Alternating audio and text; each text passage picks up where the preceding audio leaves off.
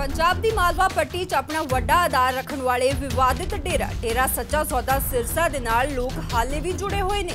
ਡੇਰਾ ਮੁਖੀ ਰਾਮ ਰਹੀਮ ਬਲਾਤਕਾਰ ਅਤੇ ਹੱਤਿਆ ਦੇ ਇਲਜ਼ਾਮਾਂ ਦੇ ਵਿੱਚ ਜੇਲ੍ਹ ਦੀਆਂ ਰੋਟੀਆਂ ਤੋੜ ਰਿਹਾ ਪਰ ਵੱਖ-ਵੱਖ ਥਾਈਂ ਬਣੇ ਡੇਰਿਆਂ ਦੇ ਵਿੱਚ ਲੋਕ ਹਾਲੇ ਵੀ ਅੰਨੇ ਭਗਤ ਬਣ ਕੇ ਪਹੁੰਚ ਰਹੇ ਨੇ। ਅਜਿਹਾ ਹੀ ਮਾਹੌਲ ਦੇਖਣ ਨੂੰ ਮਿਲਿਆ। ਹਲਕਾ ਗੁਰੂ ਹਰਸਹਾਏ ਵਿਖੇ ਬਣੇ ਨਾਮ ਚਰਚਾ ਘਰ ਸੌਦੇ ਕੇ ਮੋਹਨ ਵਿਖੇ। ਚੋਣਾਂ ਦੌਰਾਨ ਡੇਰਿਆਂ ਦੇ ਵਿੱਚ ਨਾਮ ਚਰਚਾਗਾਰਾਂ ਵਿੱਚ ਇਕੱਠ ਸਿਆਸਤ ਤੋਂ ਵੀ ਪ੍ਰੇਰਿਤ ਨਜ਼ਰ ਆਉਂਦਾ। ਹੈ। ਡੇਰਿਆਂ ਵਿੱਚ ਨਾਮ ਚਰਚਾ ਦੌਰਾਨ ਹੀ ਕਿਸ ਪਾਰਟੀ ਨੂੰ ਹਿਮਾਇਤ ਦਿੱਤੀ ਜਾਣੀ ਹੈ, ਲੋਕਾਂ ਤੱਕ ਇਹ ਸੁਨੇਹਾ ਪਹੁੰਚਾਇਆ ਜਾਂਦਾ ਹੈ।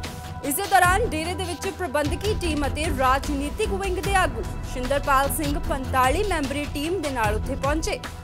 ਜਿਸ ਤੋਂ ਇਹੀ ਸਾਫ਼ ਜ਼ਾਹਿਰ ਹੁੰਦਾ ਹੈ ਕਿ ਡੇਰੇ ਵੱਲੋਂ ਕਿਸ ਪਾਰਟੀ ਨੂੰ ਹਿਮਾਇਤ ਕੀਤੀ ਜਾਣੀ ਹੈ? ਜੋ ਮਹੀਨਾ ਨਾ ਭੰਡਾਰਾ ਚੱਲ ਰਿਹਾ ਸਾਡਾ। ਸਥਾਪਨਾ ਦਿਵਸ ਉਹਦੀ ਖੁਸ਼ੀ ਸਾਧ ਸੰਗਤ ਮਨਾ ਰਹੀ ਹੈ ਰਾਜਨੀਤਿਕ ਵੇਗ ਚੋਣਾਂ 'ਚ ਕਿਹਦੀ ਮਦਦ ਕਰੇਗਾ?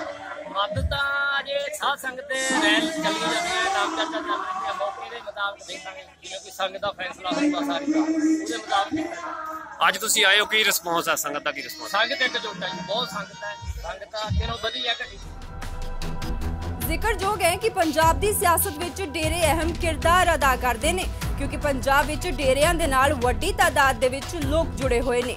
ਫਿਲਹਾਲ ਡੇਰੇ ਦੇ ਰਾਜਨੀਤਿਕ ਵਿੰਗ ਵੱਲੋਂ ਆਪਣੇ ਪੱਤੇ ਨਹੀਂ ਖੋਲੇ ਗਏ, ਪਰ ਸਿਆਸੀ ਗਲਿਆਰਿਆਂ ਦੇ ਵਿੱਚ ਡੇਰਿਆਂ ਵਿੱਚ ਹੁੰਦੇ ਇਕੱਠ ਨੇ ਖੁੰਡ ਚਰਚਾ ਜ਼ਰੂਰ ਛੇੜ ਦਿੱਤੀ ਹੈ।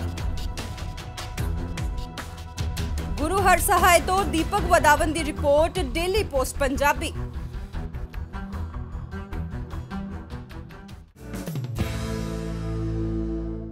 ਕੀ ਤੁਸੀਂ ਜਾਣਦੇ ਹੋ ਕਿ ਜਰਮਨੀ ਵਿੱਚ ਬੈਚਲਰਸ ਜਾਂ ਮਾਸਟਰਸ ਡਿਗਰੀ ਕਰਨ ਤੋਂ ਬਾਅਦ ਤੁਸੀਂ 18 ਮਹੀਨੇ ਦਾ ਪੋਸਟ ਗ੍ਰੈਜੂਏਟ ਵਰਕ ਵੀਜ਼ਾ ਹਾਸਲ ਕਰ ਸਕਦੇ ਹੋ ਔਰ ਫਰਦਰ ਉੱਥੇ ਰੈਜ਼ੀਡੈਂਟ ਵੀ ਬਣ ਸਕਦੇ ਹੋ?